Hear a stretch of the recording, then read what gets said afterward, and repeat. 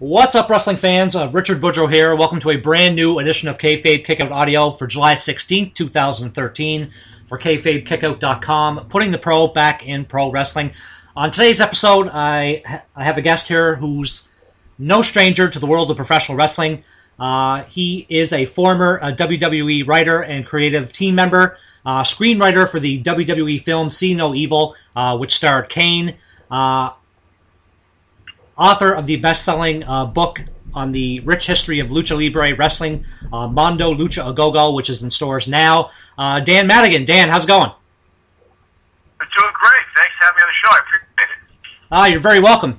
So let's get right down to the meat and potatoes of why you're on the show today. Um, there is a Kickstarter project that is currently on the go uh, for that is being headed by Japanese uh, legend uh, Ultimo Dragon.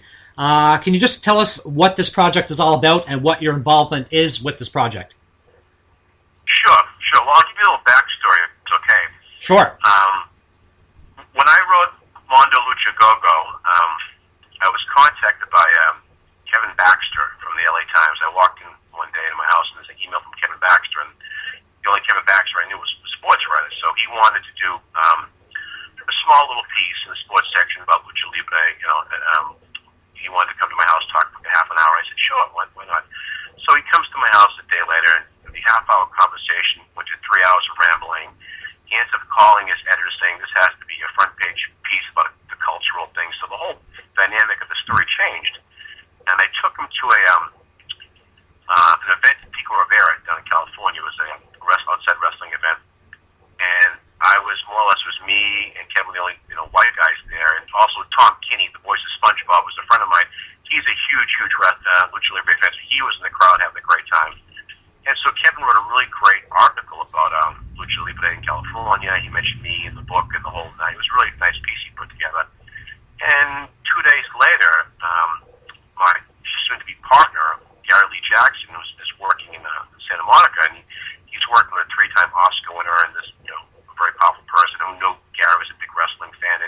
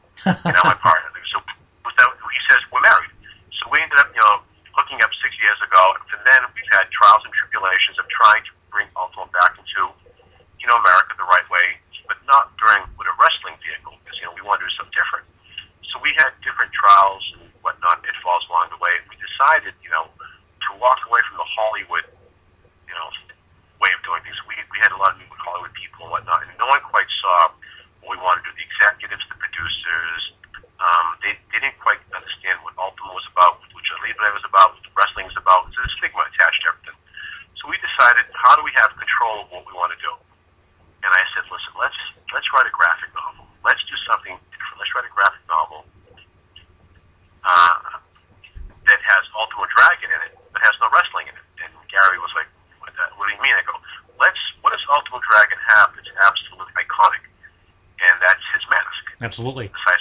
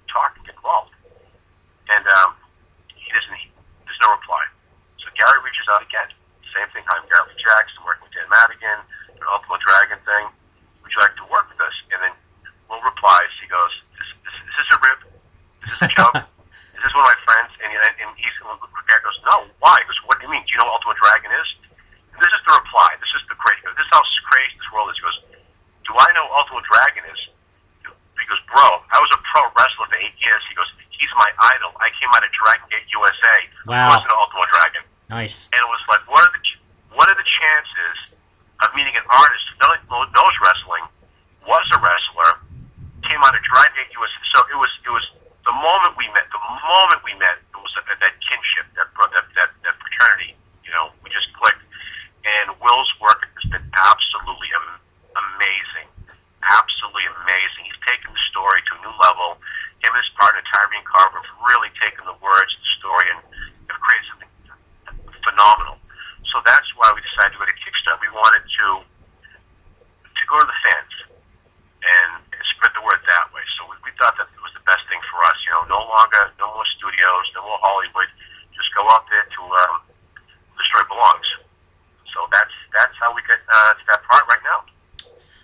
that's a yeah. that's that's a tremendous story, and um, so what you just said that it was you and uh, Gary Jackson that that that came up with this idea. Like, so I, I take it you you've already approached Ultimo Dragon. Like, how was he? Uh, how did you how did you like this idea?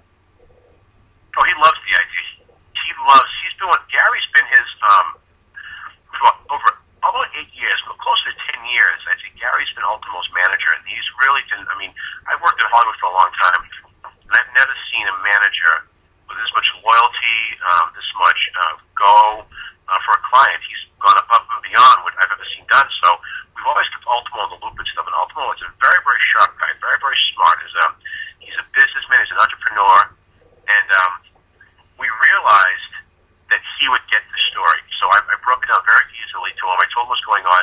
He loved it. He loved the idea. So, you know, as I create the story, I keep everyone involved along the process. There's no surprises. And he's just been 100% behind the whole project the whole time. You know, and, that, and this is, and the graphic novel is just one, one thing that we want to do. You know, it's, it's the tip of the iceberg, what we, we're trying to do. Okay. And, so, we have, so, so yeah, no, I was just gonna just gonna ask like what what other ideas do you have besides the graphic novel?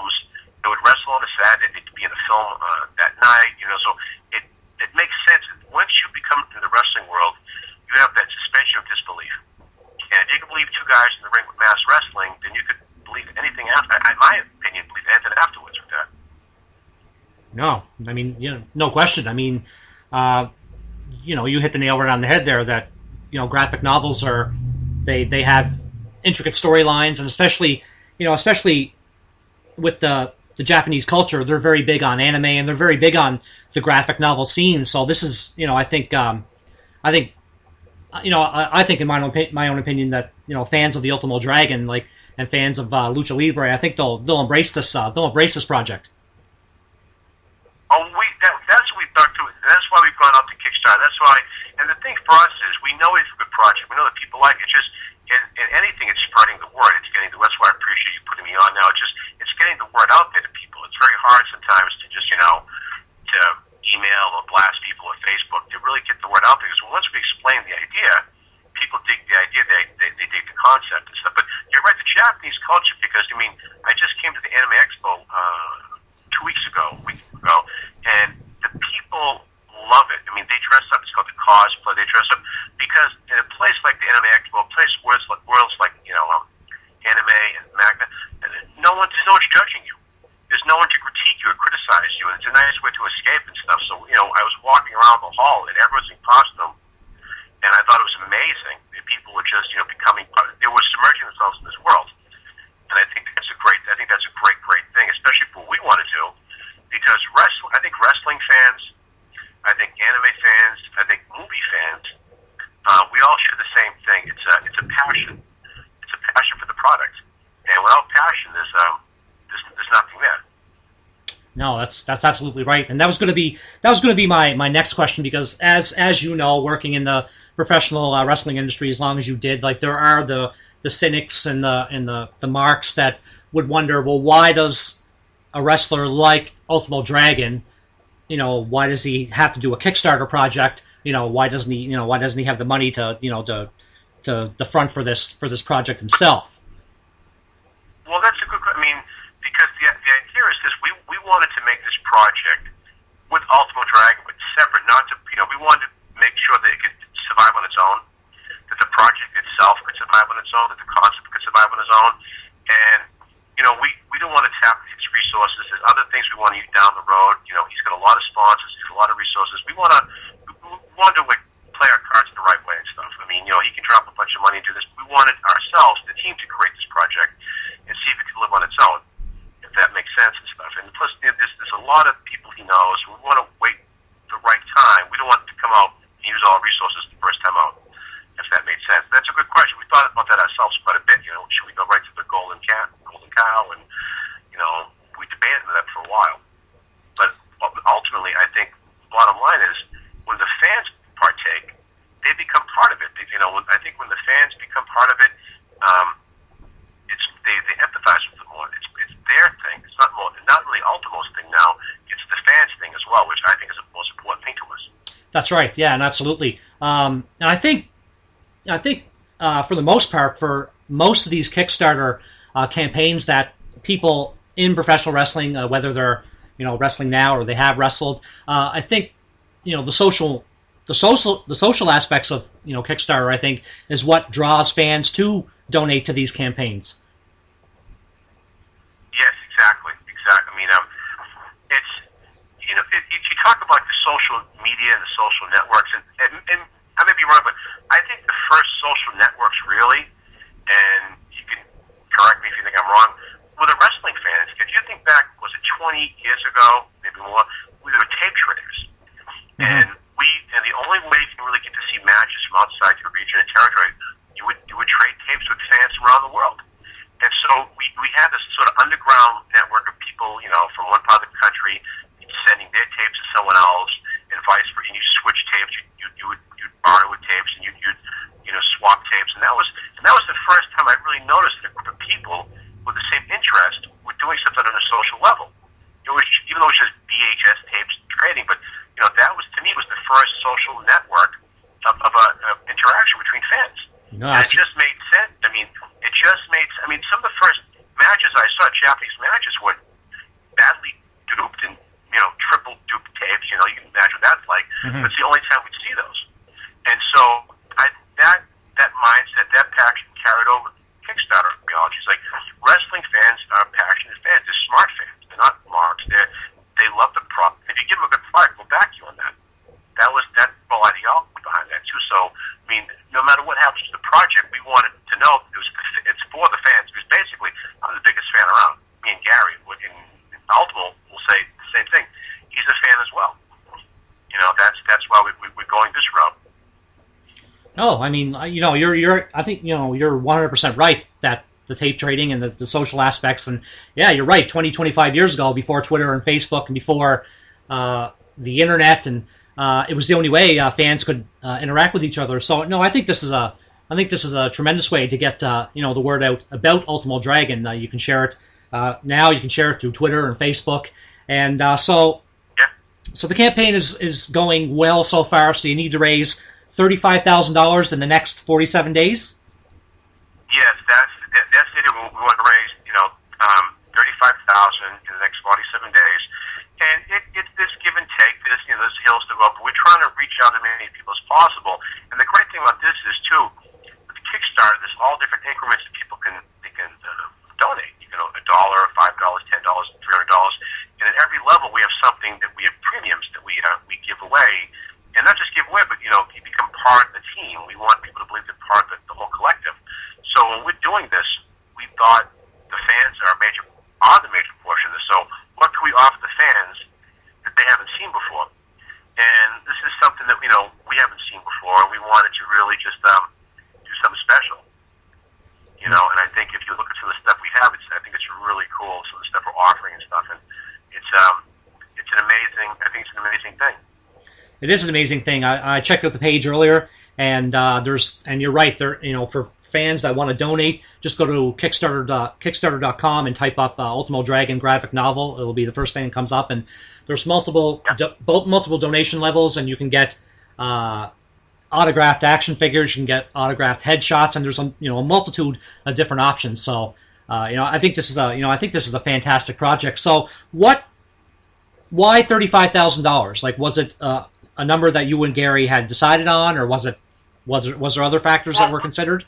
Well, we went back and forth about this. We thought maybe should we do lower, should we higher, and we were trying to figure what's what's the number that can a get reasonably funded, but more importantly, what to pay for you know printing and uh, publishing costs because the whole thing comes down to printing and publishing costs. I mean.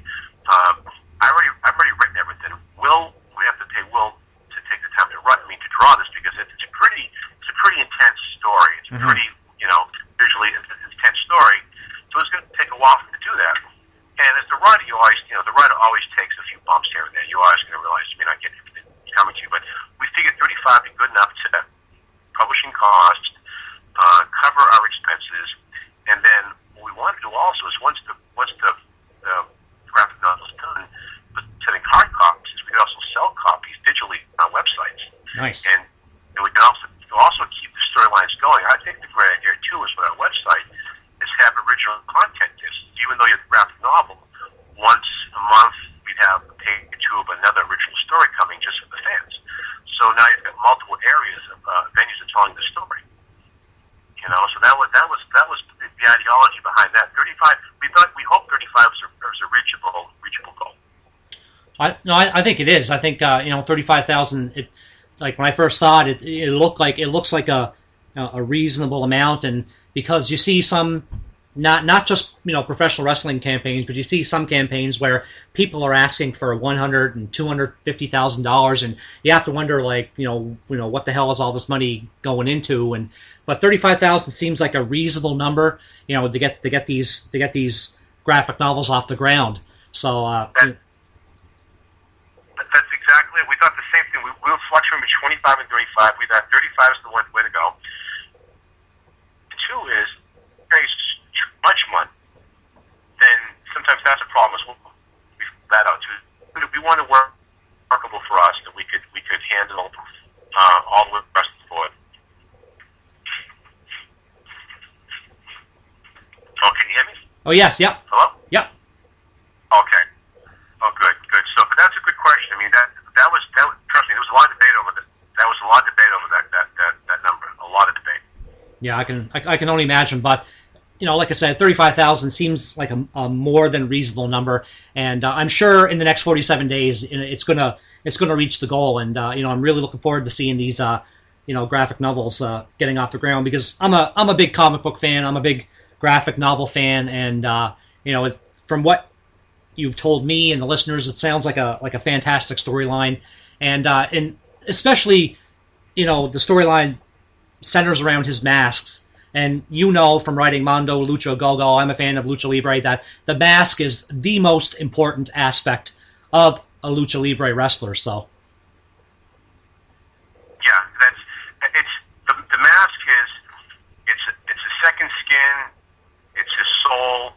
I mean, it basically determines who he is a lot, and so that we took a lot of um, time creating that the concept of the mask and how the mask affects other people too uh, because some people wearing a mask will always get the, the same results. If you think about it, so it, there's a lot of consequences too. Like it's, if you put the mask on, and the the idea behind the story is if you put the mask on, it may not be everything you wanted. You know, there comes a lot of responsibility wearing the mask. It's like basically the idea is that that man's mask can travel through history. You know, what happens if that cowl had gone through a flow of five, six, seven centuries? What happens to the people that wear the mask? Mm-hmm. Some, sometimes not every, not everything comes out the way you want it to come out. So that's the idea of the story. It's the same thing with wrestling. It's the same thing. Don't give your, you know, your, your hero, your protagonist everything he wants because there's no reason for a journey. Yeah, absolutely. Yeah, absolutely. Just, just, just like you mentioned that the storyline in this graphic novel, uh, much like storylines in professional wrestling, there, there has to be, there's not, not much of that in 2013, but I think a good storyline, whether it's graphic novels or whether it's professional wrestling, has to have a, a, a start, a middle, uh, you know, a middle, an arc as they call it, and, and an ending. So. Oh, absolutely. And the thing about, I think the thing with our story is, we have a, a great start, we have a great goal, and um, sometimes the endings, sometimes a little open-ended. Sometimes I think an open-ended because that way it leaves, and the story room to breathe. Sometimes, you know, sometimes it's, it's like a great match. Sometimes you don't, a great wrestling card. You don't give everything you want right away you let it build, and you think about the next time. You know, you don't get everything what they want. Just you know, a little here, a little there. That's what. That's the idea behind it. You know, if we, we if we wrapped it all up in five books, there'd be nothing for the sixth book or the seventh book. So that's the ideology behind that.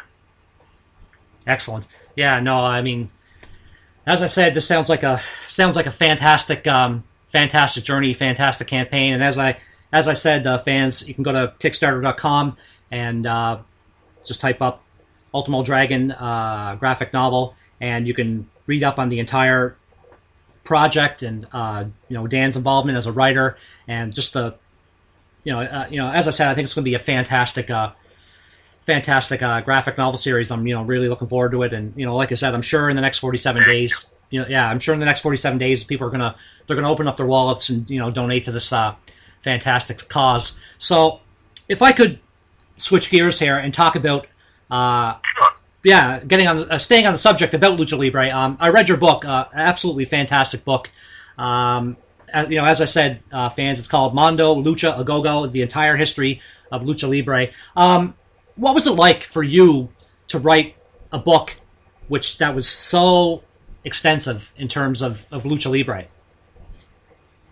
Um, it was funny because I was always a, a, a lucha libre fan before I was approached by this. I mean, like anyone else, I was, you know, I watched the matches I could. Once again, tape trading, you know, the matches. But I also started watching um, the Santo films as a kid when they came to America. I was watching all these uh, Santo horror movies and stuff, so I had, you know, my knowledge of Mexican wrestling was always in, intertwined with cinema and horror movies and stuff. So I, I thought I had, I thought I had a pretty good idea what was behind everything, and I was approached by um, Harper Collins, uh, a friend of mine, uh, Mark Gerald, was uh, was working for an imprint of them over there at Rayo Books.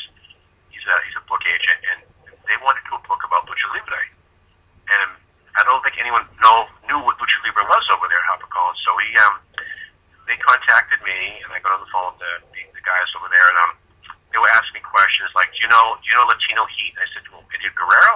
Hmm. Yeah, he's a good friend of mine. They started asking questions, and they go, "Really?" And I said, "Yes." We asked some questions. So basically, they said, "Would you like to write a book about Lucha Libre?" And my response was, um, "Well, do you want to pay me?"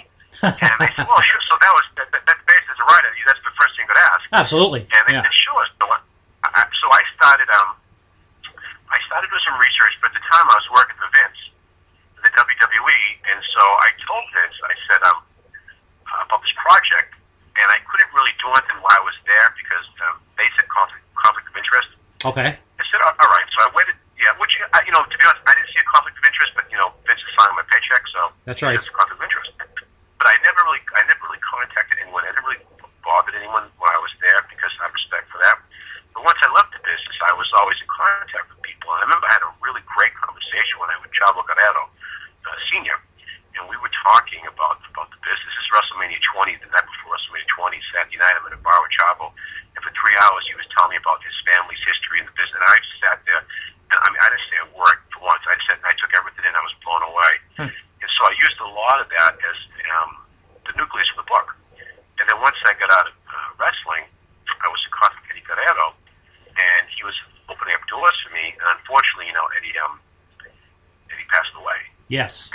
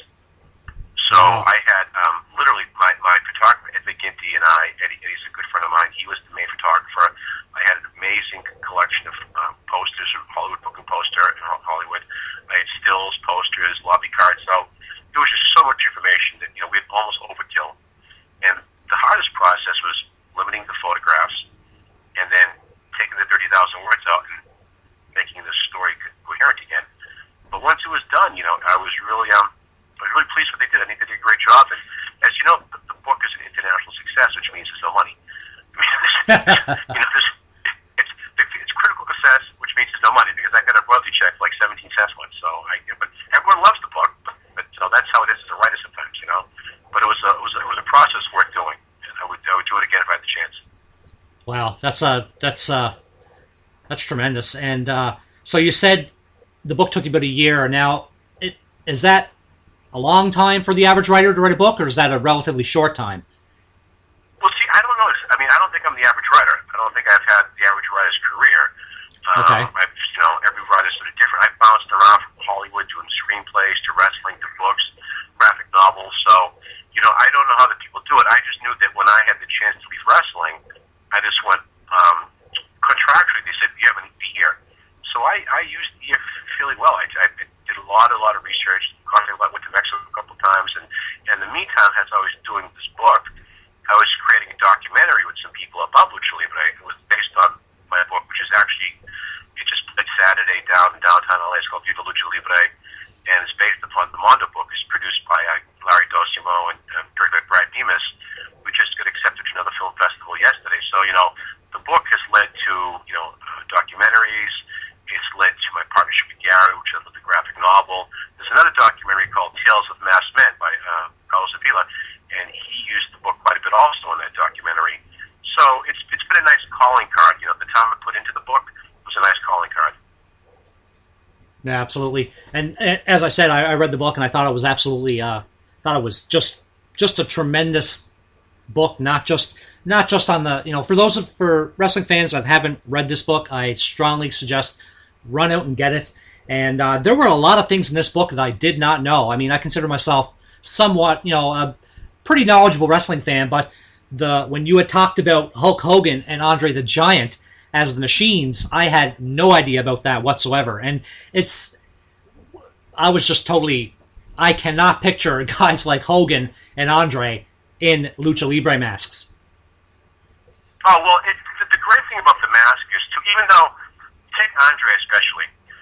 Doesn't matter what mask you put Andre, and you know it's Andre the Giant. I mean, it's just it's Andre the Giant. That's I mean, right. It doesn't matter if you put him in, you know, he's always be Andre. But the fact is, he puts the mask on, and it sort of gives him leeway to be something he can be or, or pretend to be, which is nice. The mask is a great way of sort of liberating the, the wrestler from the persona, his other persona, which is nice. You know, and the, the mask sort of hides who you are, but in, in another way, it brings up who you really are which is nice because the eyes of society are not, they're not judging you. You can be what you want to be.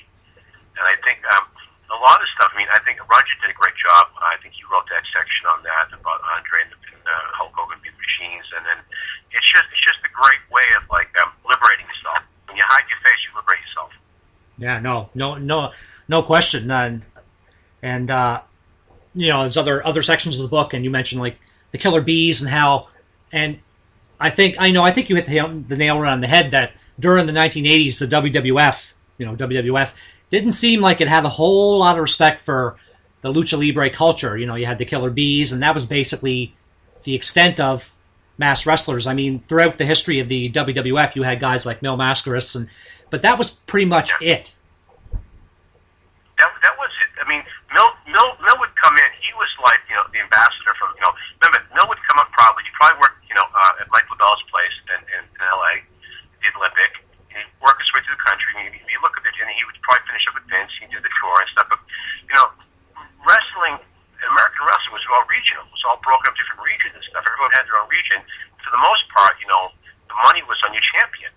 You know, like you had Nick Bockwinkel, you had Hogan, you know, all the guys from Champ. So, you know, you didn't want to hide the face at that point because American wrestling is so different from Mexican wrestling. You That's know, right, yeah. Where um, the, the very one of the very first um, heated discussions I had with Vince arguments was about Ultimo Dragon and about mass wrestling. And this is the time where I was working with Vince, and Ultimo was was, was going to leave. His contract was up. He was going to leave. And I basically, I basically pegged Vince. I said, you know, you don't leave. You know, he's the best worker. and He's the best guy in the car. He's an amazing talent. Um, and if he leaves, we're going to lose a great opportunity. And he basically, we, had Rey Mysterio, which was another great work, but Rey was injured. And Vince basically said to me, well, we have one guy with a mask on, on the roster. Jeez. Any, any more will confuse the fans. Oh my God. I said,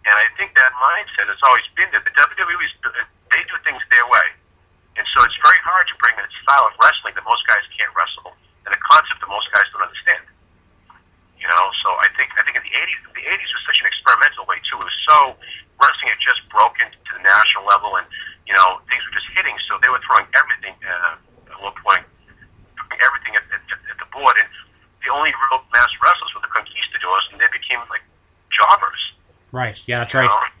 know? which is kind of a because if you think about think about the career you can have as a really as a, as a you know and they lucha libre, the masked wrestler, all wrestlers called luchadors, of course, but the masked wrestler is called the mascarado. And think about the career that a mascarado could have, like Mil Mascaras in the WWE. I mean, think about it. I mean, you could have an amazing career. Think about the merchandise and the career, the storylines that, that are so rich that Mexico has embraced for years. Yeah, that's that's you know those are. It, was an interesting time. It was an interesting time, the '80s. Interesting time.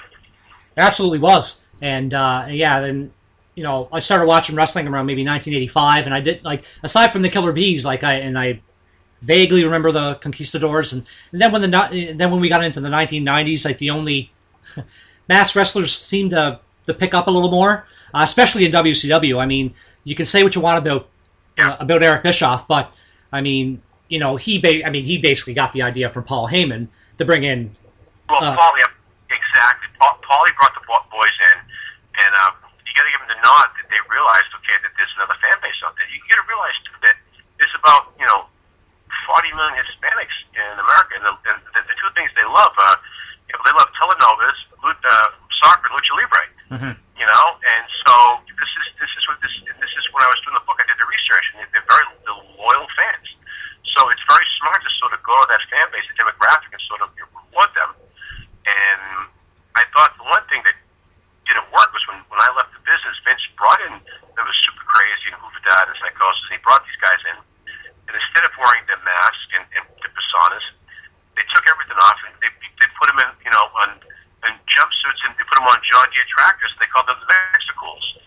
And I was like, wow, what what a way to destroy the bridge of culture, destroying you had a great chance. And I thought to bring the luchadors over, create an exciting, exciting cruiserweight division, and it just sort of like you know dropped dropped by the wayside for a gimmick that I thought wasn't really a very good gimmick. No, that was a Um, that you know that was a that was a terrible. the work of it, yeah, it was kind of a. But you know, once again, I'm not working there, so I mean, so I guess they were right. I was wrong, you know. Well, I mean, you know, uh, you know, as you said, I mean, the, you know, the WWE they're, they are where they are because of Vince and his vision. But I mean, you know, Vince is you know Vince has made some really ridiculous choices in, in his in his forty years as you know as you know head of the WWE or whatever. So I mean, yeah, the Mexicools Mexicools is ridiculous, and and toward the toward the de- the decline of WCW, like they took they took Rey Mysterio's mask off, which I thought was a mistake, and um, that that was that was a travesty. it was. I mean, I thought that I thought that really was a really slap to the face business to Ray, and but you know that's what unfortunately that things happen sometimes. And here's the funny thing, right? I think this is what wrestling fans have sometimes short attention spans but long memories. If that makes sense. You know, they'll they'll, they'll, they'll, forgive a gimmick and forget about it for a while, but in the long run, they'll remember what happened. They'll remember what happened and stuff, and they forget. You know, I think no fault on Ray's. It's just I think it was a bad was a bad thing to do. And for what was the payoff? There was no payoff. Yeah, no, it You was know? the needle. The needle. Ba- Uh, yeah, the needle barely moved on. Uh, you know when in, in that time in WCW. Well, I mean the ratings were in the toilet, and you know it was the it was the Vince Russo regime, and uh, just some ridiculous ridiculous things that you know ultimately ultimately led to the company's demise. But that didn't even uh, move the needle, and I you know I thought it was a slap in the face to Ray as well. So Ex- Exactly. You're right. Didn't move the needle. There was nothing. Nothing was gained from it. Nothing was gained from it. So that's the funny thing. When, when you're working in wrestling, what's you know what's the long term goal? And you come up with a storyline, and arc, and angle. What what's the payoff? Because you always got to think of the future. You can't think of the past. You got to think of the now and the future. And I think sometimes with Vince, um, he's trying to, and I respect Vince immensely, immensely. Um, but he's trying to get lightning to strike in the bottle twice. If that makes sense. Mhm. And sometimes things don't have a chance to breathe. Sometimes you just need things a chance to breathe. And I think once you give, you know, uh, an angle. I mean, remember when, when Austin said at 316, that took a while for that to happen. To go once that once that really clicked, that was amazing. Look what Paul Heyman did with Sabu and Taz. Mhm. He kept them away for a, a, a year and a half. That's un, that's unheard of. That's unheard of. And once these guys went at it, it was, the house came down. So I, I think sometimes this, you know, this um, an unseen necessity pushes things a lot. you know that's right. You know. I think it's dangerous. I think it's dangerous. I think it's dangerous to create. I think it's dangerous because uh, when you rush things, sometimes talent can't come. You know, they, they can't mature the way you want them to mature sometimes. Yeah, that's right. No, you're uh, you know you're uh, you're absolutely right on that. I mean, uh, you know, storylines do need a chance to uh, the chance to evolve, and it seems like seems like in 2013, like you know, I remember back in the '90s during the Attitude Era, and even before the Attitude Era, uh, you know, when when Bret Hart was WWF champion, and then when you had you know the NWA and WCW, it seemed like they would have storylines mapped out for months. But it seems like nowadays in 2013, they do things week to week. Oh, absolutely. Oh, week to week. Sometimes it's yeah, yeah. It's it's there's a sense of urgency sometimes, and you just to sit back and let things just, just itself out naturally. You know, it's the only way.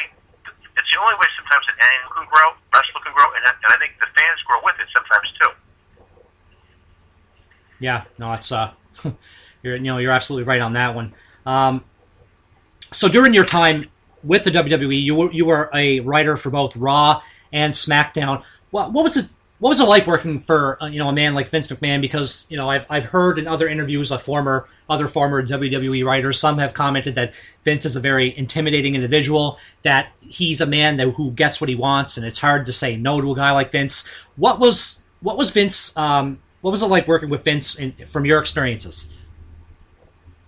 Well, here's, here's the funny thing. When, when I came into the company, I was interviewed uh, by Stephanie in Los Angeles, and then I met with her, and then after the interview, they wanted to hire me.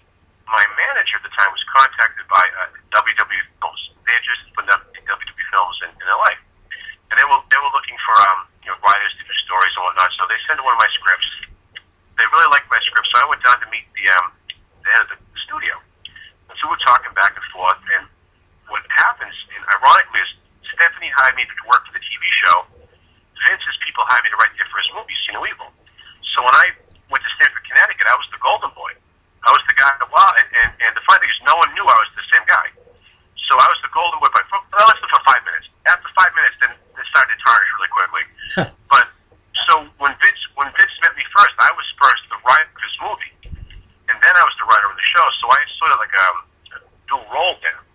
And um, you know, you know, Vince is the head of a major, major corporation. You know, he heaviest of other was the crown. I mean, there's a lot of decisions made, and sometimes you're not going to get a thousand percent. You just can't.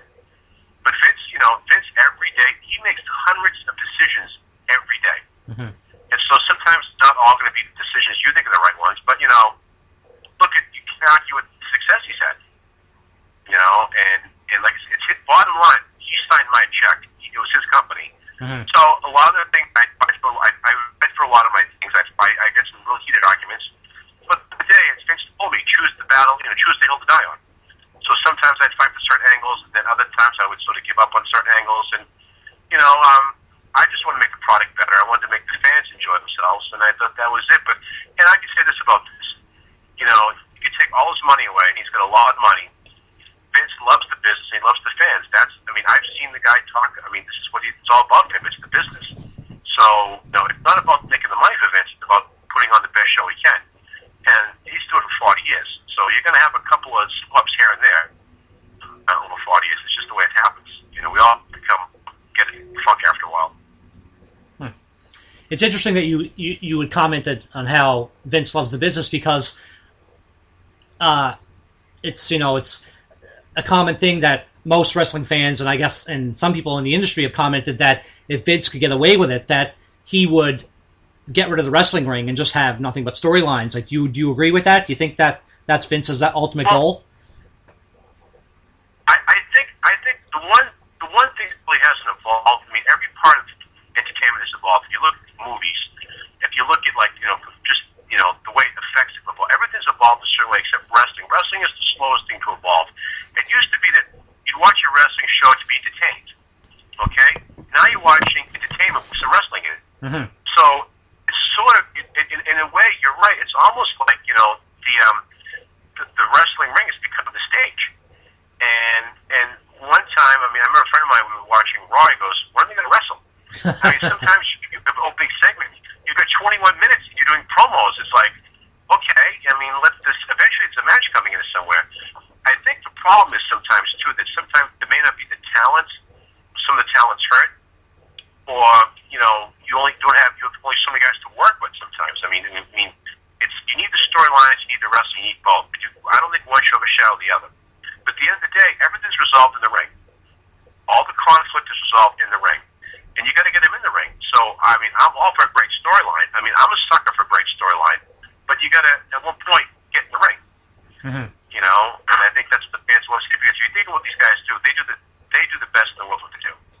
They're entertainers, they're athletes, they're acrobats, they're performers.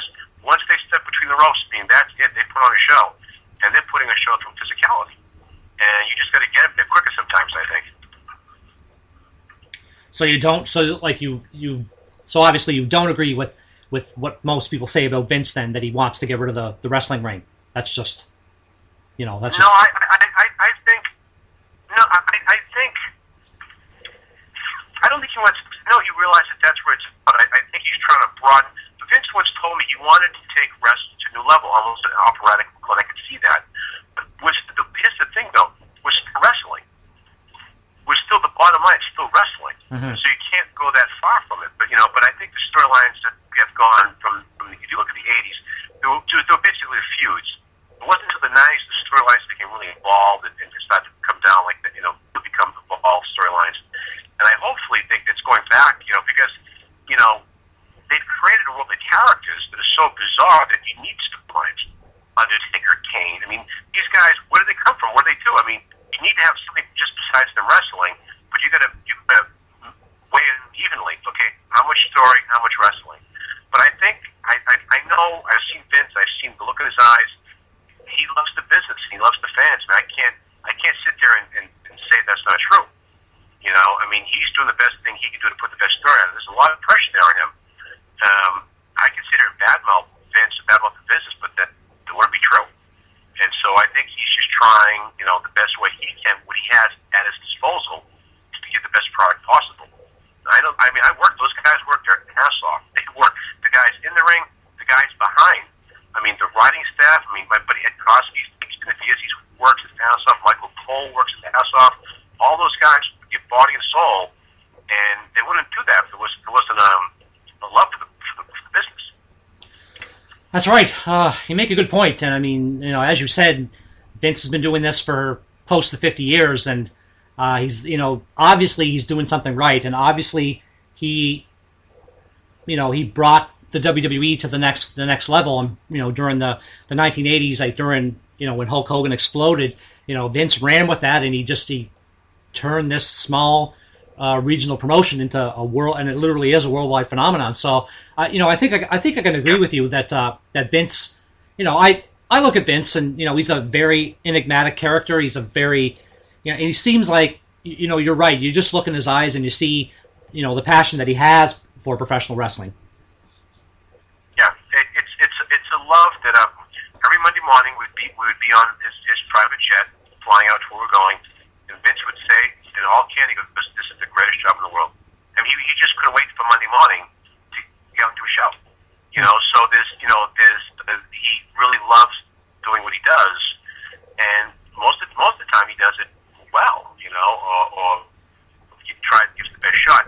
Um, it's like it's like Vince is a way. It's a lot like I think Roger Corman in the film industry. Roger Corman would years make hundreds of movies and create characters and stories, and you know some hit and some miss. And, and from Corman, you had look at all the people that come out of Corman. You had like guys like Martin Scorsese and Spielberg and, and Ron Howard. All these great directors coming out of the Corman factor. It's the same with Vince. Vince is created like Stone Cold, The Rock, Hulk Hogan to some extent. He's taken talent to a new level. So without Vince, there wouldn't be. I mean, the biggest star in Hollywood is it's got to be Dwayne Johnson. If you think about it, Mm-hmm. he's in everything, and he and he, he came out of um, you know Vince Studios, if you want to say say it like that. So there's something, and the thing about wrestling, it, it's it's everyone has a wrestling story. You know, we've all been wrestling fans. Either it's, we loved it or we didn't love it, but it's always been part of it's part of the culture, and it sort of unites us to who we are. That's right. Yeah, no, for sure. I mean, you're you're you're, uh, you're 100 percent right about that. I mean, as as much as wrestling fans complain, they continue to watch the product, and you know, there was a there was a period where I stopped watching wrestling, probably me, maybe between 2007 to maybe 2010, but I came back in 2011, and I've been watching it Yes. watching it since. I mean, we all need a break from whatever it is, like whatever our hobbies are, like for a little while. But we always, you know, and like you said, fans always come back. They come back and watch the product, and and I mean it's it's you know it's why Vince is you know the success that he is. And you would now you had mentioned that you had mentioned that you had uh, written several storylines, obviously as a writer for Raw and SmackDown. The one storyline that I'd like to talk about is the the Kane uh, Snitsky Lita pregnancy storyline. Now, it's you know for the most part, fans uh, didn't seem like they took too well to that to that storyline. In would you would you have write, uh, written it differently? Like if you were working for the WWE in 2013, like uh, would there have been anything different that you would have done? Well, here's the thing. When I when I was I that was that was um I helped contribute. I mean, it, it was here's the thing. It was a great success. I'll take all the credit. If it was a failure, it wasn't my fault. But that's how things go. But you know, I worked with other people on that storyline. But but here's something that I thought Vince said to me made it made it made great sense at one time. If you think about it. At the time, Kane was the most hated heel we had. Think about what he was doing to Lita. Mm-hmm. I mean, he was hated. Mean, he had so much heat against him, right? And Vince said to me, he goes, the moment you have that much heat and you're hated, you can become a babyface very quickly. And I'm like, really? And so, and if you think about what we did, we, we made Kane this monstrous um, fiend who wanted to have um, his offspring through Lita. He wanted to have a baby. You know, he wanted to carry on his bloodline. So we we created this monster by bringing Snitsky in and by having the storyline, you know, you know, what happened, the, the miscarriage, came from being this monster to a grieving father. So you have all this built-in emotion as a fan. You hate this guy. You hate this guy because he's a monster. All of a sudden, boom, you, you turn him around completely and you empathize with him. So that emotion, you as a fan, is still there, but now it's torn, you know, towards, oh, I feel bad for Kane. I hate Snitsky. And, in, Snitsky's line, I, you know, wasn't my fault, which me and him, we still joke about that quite a bit. We, we're, we're friends. now he becomes the bigger heel. So it's, it's, it's storylines like that. It's a, it's a manipulation of emotion. Once you get the, the fans in and you can manipulate their emotions, you can have hate someone. It's not a, it's not a far cry from love and hate. Because how many times, how many times does a, does a face turn to become a heel? It's the same thing. So what, and so once Vince laid it out, I thought it was pretty smart. Once we had Kane so hated, we turned him, which we brought someone worse in. Uh, and I thought, now, if, would I change the storyline differently? You know, I, I think I think I'd change a few things. I, I think if you think about the overall dynamic, it was kind of a brutal storyline, and mm-hmm. it's more set for a, a grindhouse exploitative movie than a wrestling ring. But you know, I, I would have to see if I would. I'd be a different writer today too. I would maybe look at the whole overall arc differently. You know, if you have three, if you have three characters involved in the storyline, what, how is it going to end for each character? What's their growth, and where they're going to go after that? So I think I would have plotted it out that way. If I had Kane and Lita, and I know Stitch is coming in, what would have happened to each character, and how would they have gone off from there? So I think I would have looked at it as a bigger picture, you know, differently. Hmm. So staying on the uh, on the subject of Kane, um, so you said you're do you, like do you do you watch uh, Raw on a regular basis?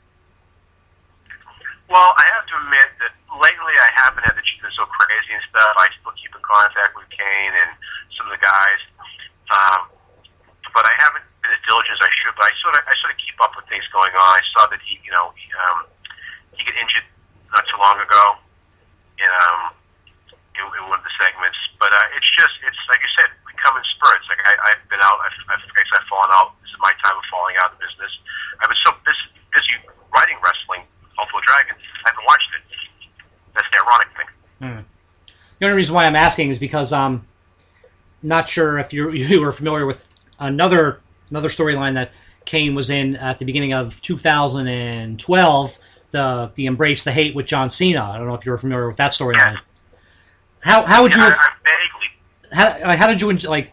Did you enjoy that storyline? Because that again, that's another storyline that you know received a lot of you know negative negative feedback from fans and from people in the in the professional wrestling, wrestling business. So, well, here's here's the here's one of the problems, and it's it's kind of um it goes two ways. I mean, the WWE is a corporation as a company. They're always talking about an anti-bullying campaign. Mm-hmm. You know, like you stay stay no to bullies and stuff. And so, as a as a as a publicly traded company, they're putting a certain face to things, and yet when they do a, a storyline, it's a embrace the hate, do this, and you're sort of, you know, you're giving mixed messages sometimes. That's right. And I think, you know, once once you go from commercial break and you do your promo commercial, like you know, staying against bullying, and once you get into the ring, it's a different thing and stuff. And you know, even though something like you know, just say just say hate, it's just not embrace the hate. This is um, it's wrestling. You, you need you need to have a villain. Your villain, your heel, your your antagonist, your rudo. Got to be a guy that you know that is despicable. And so, it, it even though it's hypocritical of giving a mixed message, it makes sense it makes sense to go against the norms because you know if he didn't go against the norms of society, he wouldn't really be a, a heel, would he?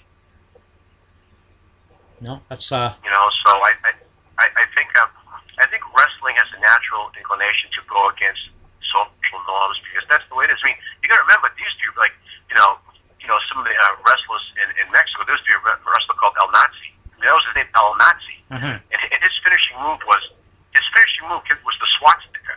I mean, how politically incorrect is that? I mean, in Mexico, they get guys called Charlie Manson. I mean, so there's no political correctness. There's, there's, there's nothing, you know, if you're in wrestling, you're going to push the envelope. And if you, if you push too far, well, you'll know. The fans will let you know. Uh, case in point, like a Katie Vick scenario.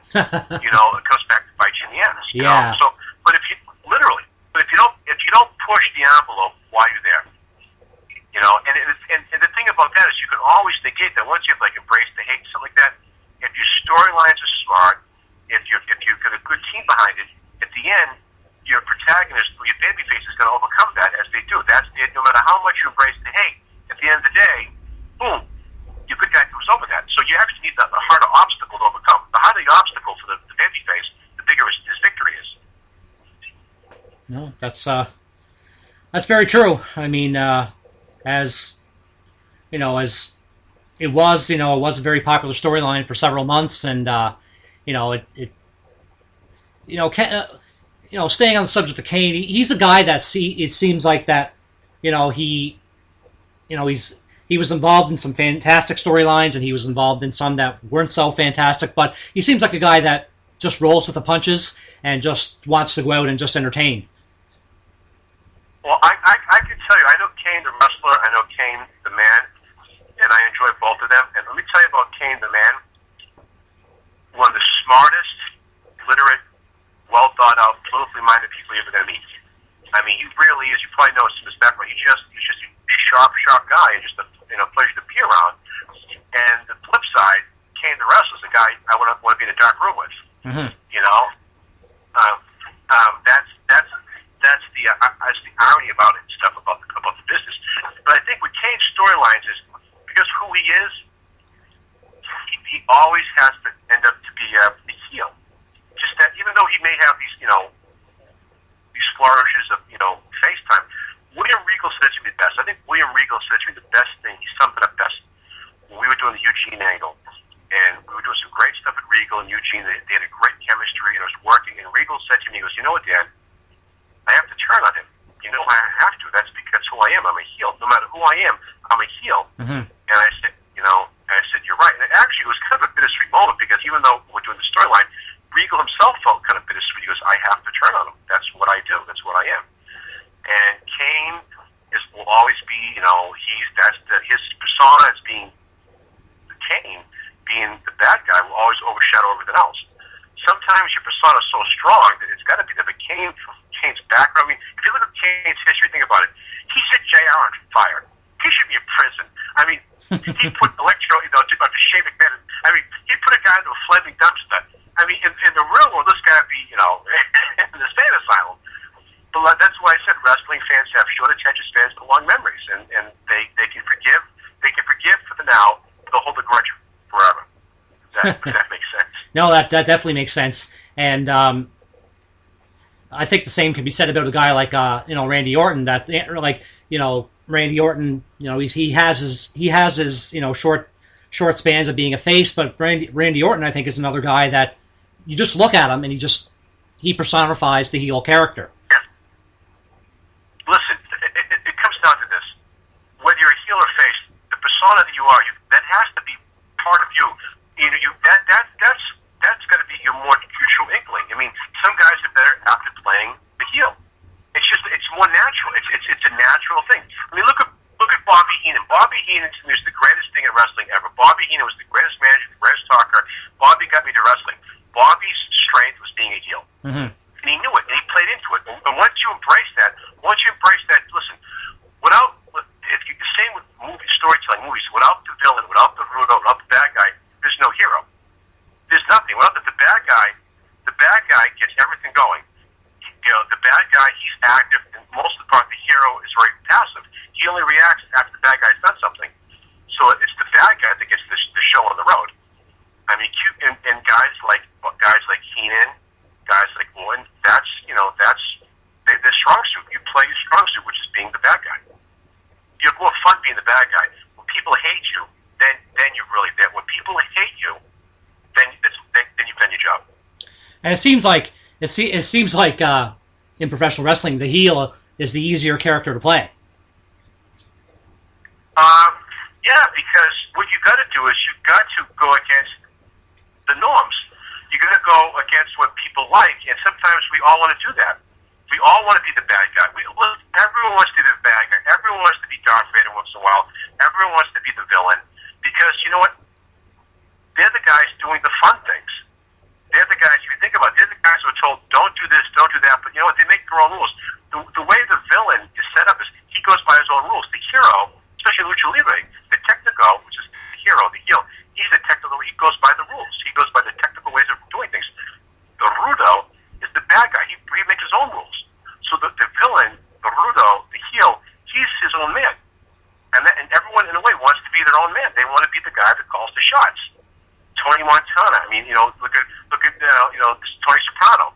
They're Yeah. the guys that they're the, guy- they're the antisocial guys that make their own rules, and everyone wants to be like that to some extent. That's why these shows are so popular.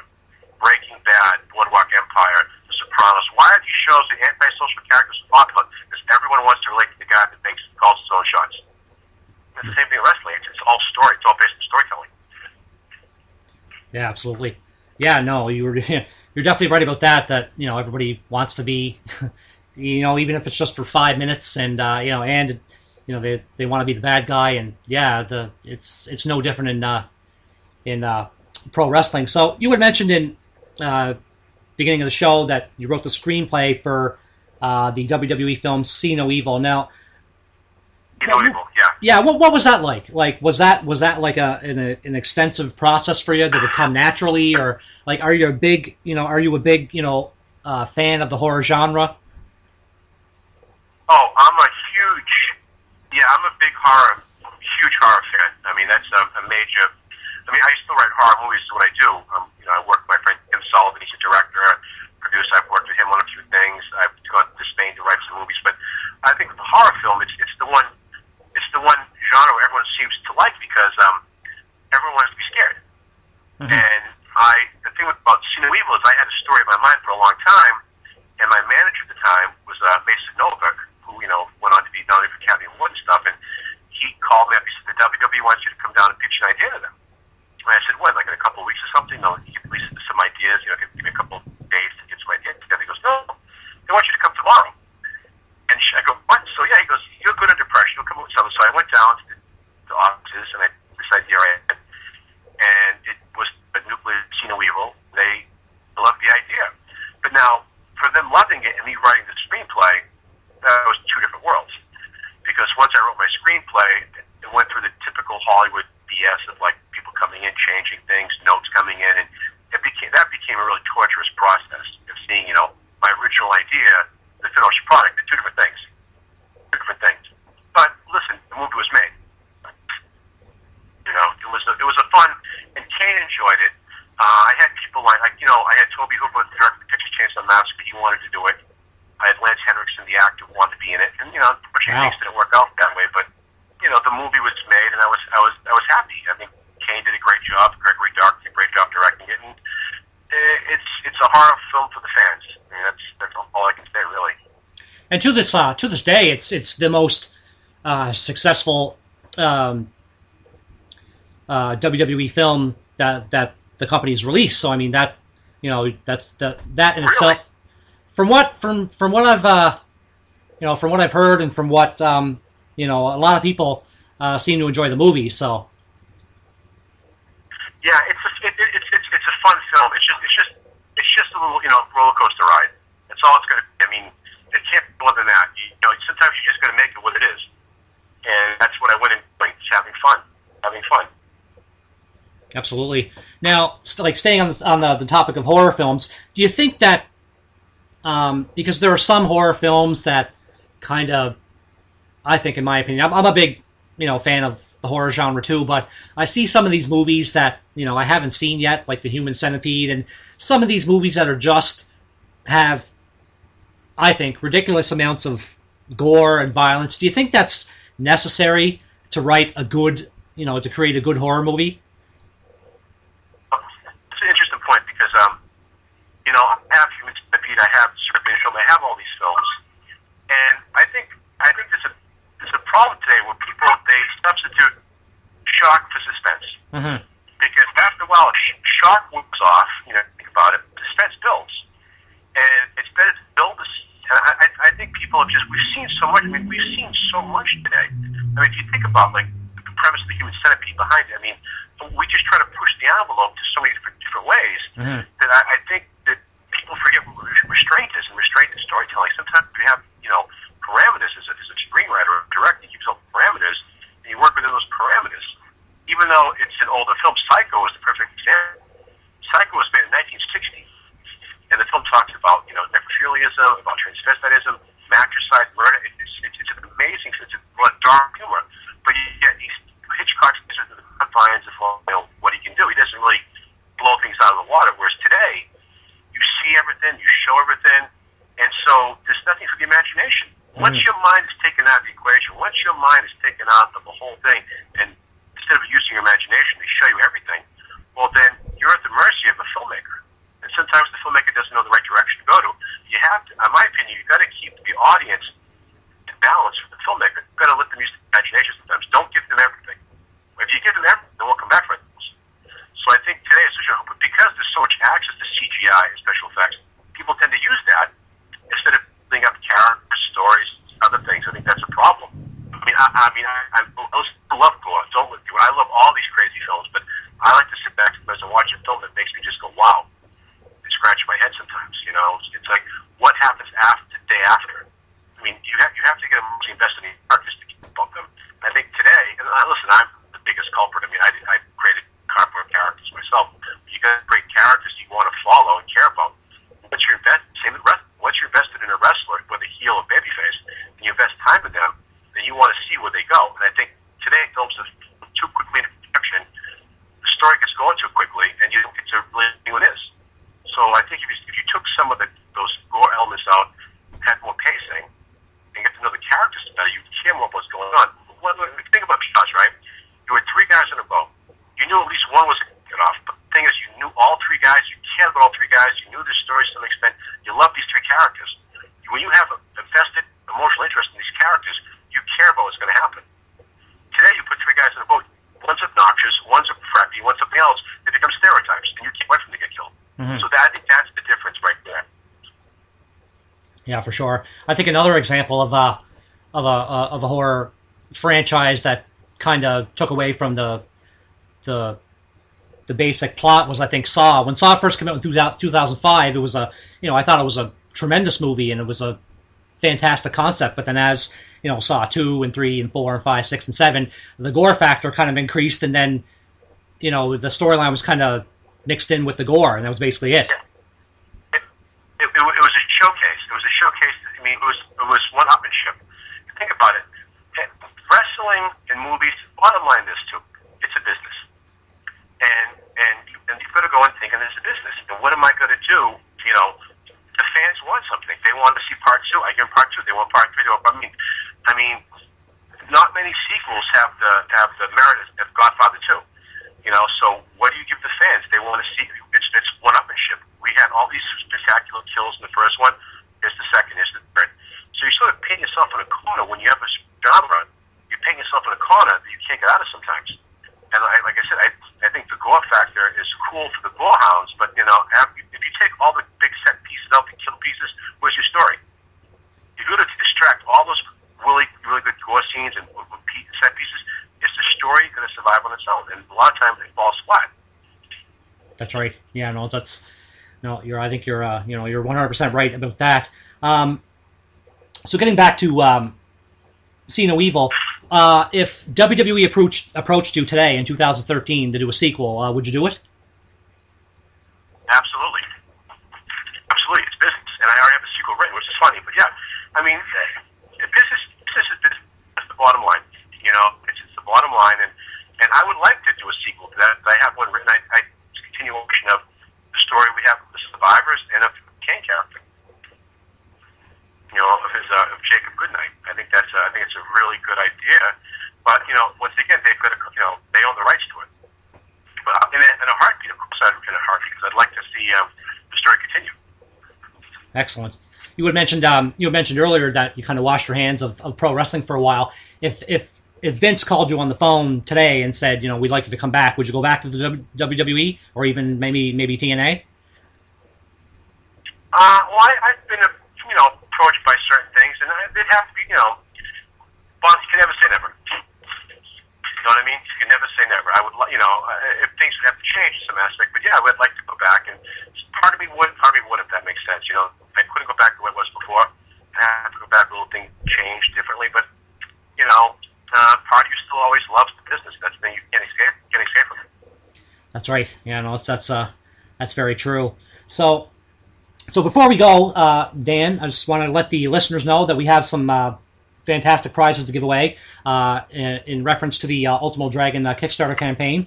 So, the first listener that donates thirty dollars or more to Ultimo Dragon's Kickstarter campaign, as I said earlier in the show, just go to Kickstarter.com and type up Ultimo Dragon, uh, Ultimo Dragon uh, graphic novel, and the first person that listens to this, listens to the show that donates thirty dollars or more will receive a free autographed Ultimo Dragon action figure in his uh, orange wrestling gear. Now, if you go to the Ultimo Dragon Kickstarter page, you'll see uh, an excellent, high quality, blown up picture of the action figure. And but now here's the the catch: if you you have to mention that you listen to this episode of Kayfabe Kickout Audio with my guest Dan Madigan in the comments section, and you'll receive the action figure 100% free. So, like I said, thirty dollars or more. And I also have we also have two free Ultimo Dragon autographed headshot photos to give away for anyone who comments on this episode on the website, kayfabekickout.com. And uh, just mention uh, just mention uh, just mention your comment on Twitter at the at uh, at kayfabe underscore kickout, and I will pick two uh, random winners for those two free uh, Ultimo Dragon autographed headshot photos. So these are these are fantastic prizes, and like Dan said at the at the beginning of the show, there are so many different uh, donation options. You can donate five, ten, three, six dollars. You can donate donate up to ten thousand dollars if you have it. So um, so Dan, yeah, that'd be great. That'd be great. so Dan, I just want to um, uh, thank you uh, for being on the show today. And so this is the part where you just plug away uh, whatever you would like. How can people get in touch with you, uh, etc. Oh, great! Listen, I've had a great time. I can't thank you enough. But if you want to get a hold of me, I think the best way is through the um, Kickstarter project, the Ultimo Dragon graphic novel. Go to Kickstarter. You're writing Ultimo, Dra- Ultimo Dragon graphic novel, and um, you're going to see everything we have there. And you're going to see, you know, we have uh, two great videos. One is the video of us explaining what we want to do. The other one is just an amazing trailer for the graphic novel, which is an amazing piece put together. Music, animation is incredible. Then we have our video what we're going to do. So I think any questions, just go there and check it out. And then uh, you can just contact me through there. But I really want to appreciate, I really appreciate the time you've given me. I can see that, you know, you're passionate about the business as I am. And I think we're trying to reach the fans as well who are as passionate. So it's, like I said, it's us trying to give, give it our best shot. And I appreciate what you've done, the fans have done, what they will do. And, and please contact us, donate, contribute anything you can. And um, we look forward to talking to you again because I have your information. I'll be talking to you uh, later on today. Excellent. Yeah, no, you're you're more than welcome, Dan. And as I said, uh, you know, this is a fantastic project. And for like I said, wrestling fans, if you haven't checked out Dan's book on the the rich history of lucha libre, Mondo Lucha a Go Go, uh, you can check that out. The book is available everywhere. It's available online, Amazon, um, anywhere that books are sold. You can check out this book uh, from front to back. Just a fantastic history about lucha libre. Uh, it has a forward by uh, you know former multiple time WWE champion Kurt Angle. Just a fantastic book. Lots of high quality photos and just a, like I said, just a fantastic walkthrough. If you're not familiar with Lucha Libre, if you're a fan of Lucha Libre, definitely pick this book up. So, so Dan, thank you very much for being on the show, and uh, we'd love to have you back again. Absolutely. Thank you. Thanks. I appreciate it. Thank you. And thank you all your listeners. I appreciate it. I'll keep you posted what's going on, okay? Sounds great. Great. Thanks. I'll talk to you soon. Yep, you bet. Thanks a lot, Dan. Bye-bye. Thanks, buddy. Bye-bye. And as always, wrestling fans, you can check out the official website of Kayfabe Kickout. That's kayfabekickout.com is the URL. We have the latest wrestling news, a ton of fantastic interviews with some of the biggest stars in pro wrestling: Jake the Snake Roberts, Christopher Daniels, uh, Julie Hart, the legendary Les Thatcher, and so many more. Uh, we have 100% free audio episodes of Kayfabe Kickout that you can listen to anywhere you go.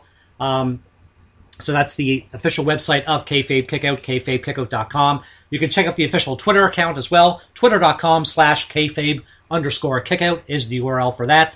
Check out the official Facebook page, facebook.com slash kayfabe kickout. You can check us out on Google Plus. Just go to the Google search bar and type up kayfabe kickout Google Plus. Uh, you can check out the official merchandise store of kayfabe kickout at zazzle.com slash kayfabe underscore kickout. Uh, you can check out our all of our audio episodes of Kayfabe Kickout on Podomatic if you're a big fan of Podomatic. That's podomatic.kayfabekickout.com is the URL for that. So I will be back with a brand new uh, audio ep- audio episode very soon. Again, I'd like to thank my uh, very special guest, former WWE writer and creative team member uh, Dan Madigan, for being on the show. As I said, I will be back. So have a great day, wrestling fans.